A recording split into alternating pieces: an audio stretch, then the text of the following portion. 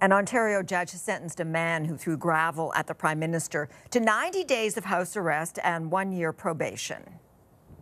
No comment.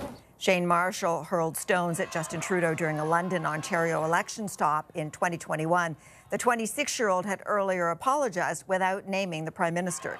The judge called Marshall's actions a manifestation of mob mentality. Well, police in Quebec may be ready to close the file on a 48 year old cold case. It involves the disappearance and murder of a 16 year old girl.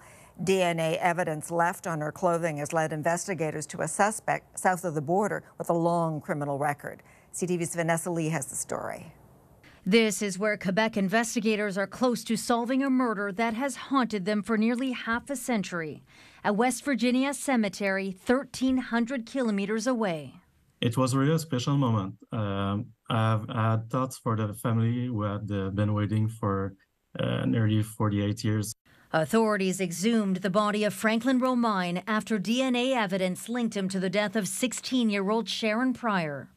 The teenager was supposed to meet friends at a Montreal pizzeria on March 29, 1975, but never showed up.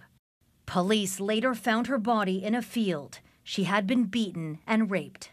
The killing shook the community and eventually turned into one of Quebec's most high profile cold cases. Police looked at more than 100 suspects but never made an arrest.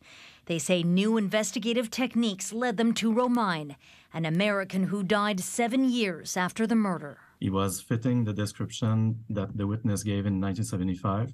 He also had a very extensive criminal record of uh, violent crime, also for a sexual assault.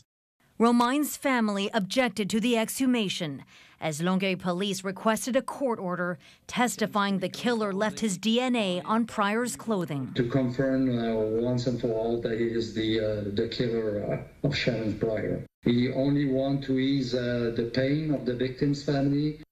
It's hard to imagine Yvonne Prior's pain. Where's my daughter?